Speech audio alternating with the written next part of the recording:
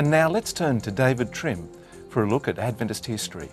This week, learn about the organisation of the Missouri Kansas Conference in the United States. Welcome to This Week in Adventist History. On October 12, in 1895, missionary G.H. Baber arrived in Valparaiso, Chile, to become the first superintendent of the newly organized Chile mission. On October 14, 1844, Charles Fitch died at the age of 39.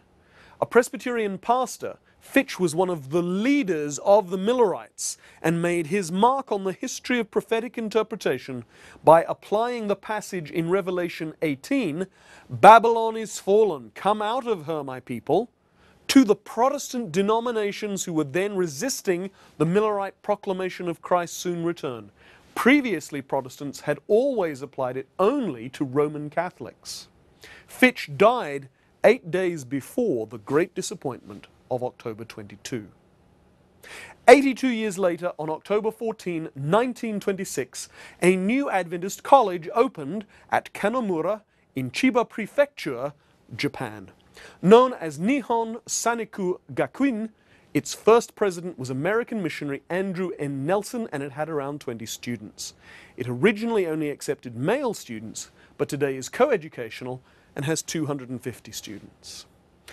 On October 16, in 1870, during the first camp meeting in the U.S. state of Kansas, held at Pleasanton, those attending organized the Missouri Kansas Conference with R.J. Lawrence as president. It consisted of just two local churches at that time, but a number of isolated Sabbath keepers as well, one of whom had traveled 270 miles in order to hear James and Ellen White speak. That was this week in Adventist history.